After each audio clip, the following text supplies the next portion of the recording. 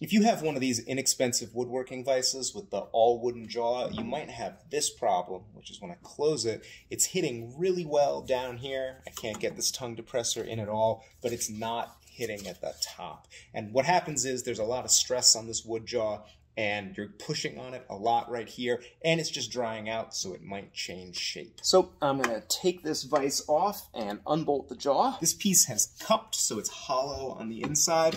I'm going to plane it to take off that cup and then I'm going to plane it extra here on the bottom so hopefully the top of the vise will hit the bench first. Now the vise closes evenly all across the top with no gaps. If your vise is losing grip, that could be the problem. Takes about 20 minutes to fix.